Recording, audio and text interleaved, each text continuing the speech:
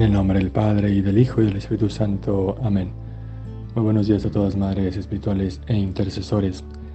El día de hoy festejamos la fiesta de dos grandes apóstoles, Simón y Judas Tadeo, San Simón y San Judas Tadeo.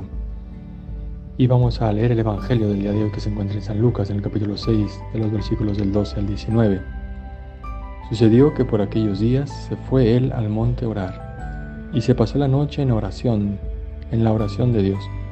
Cuando se hizo de día, llamó a sus discípulos y eligió doce, de entre ellos a los que llamó también apóstoles.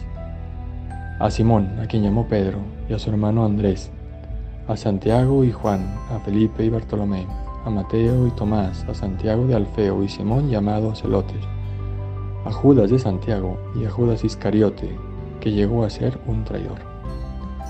Bajando con ellos se detuvo en, una, en un paraje llano. Había una gran multitud de discípulos suyos y gran muchedumbre del pueblo y de toda Judea, de Jerusalén y de la región costera de Tiro y Sidón, que habían venido para oírle y ser curados de sus enfermedades. Y los que eran molestados por espíritus inmundos quedaban curados.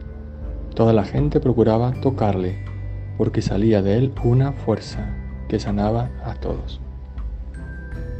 Hoy festejamos a estos dos grandes apóstoles, a estos dos grandes santos, el llamado Simón el Celota, que era pues, realmente una persona auténtica que quería pues ir contra el imperio romano y poderse liberar y cómo él fue transformando toda esa pasión, toda esa fuerza, toda esa energía para Jesucristo nuestro Señor.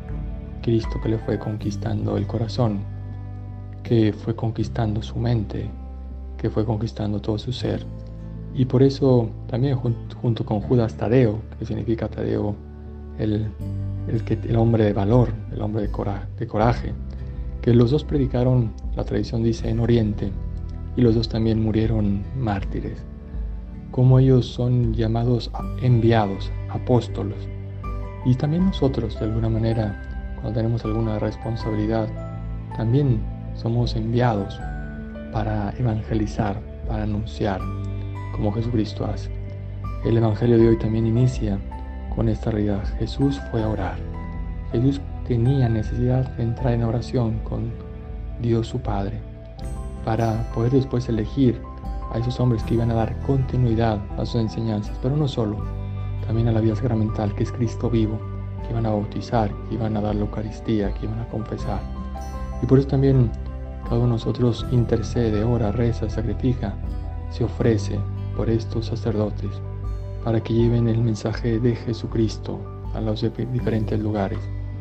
Y por eso también queremos pedir hoy la presencia maternal de María en este sábado. Que María Nuestra Señora nos acompañe, nos ilumine, nos dé esa fortaleza, esa paciencia, esa humildad que necesitamos para poder sostener a los sacerdotes en su camino, en su santificación personal. Que Dios les bendiga a todos en este día en nombre del Padre y del Hijo y del Espíritu Santo. Amén.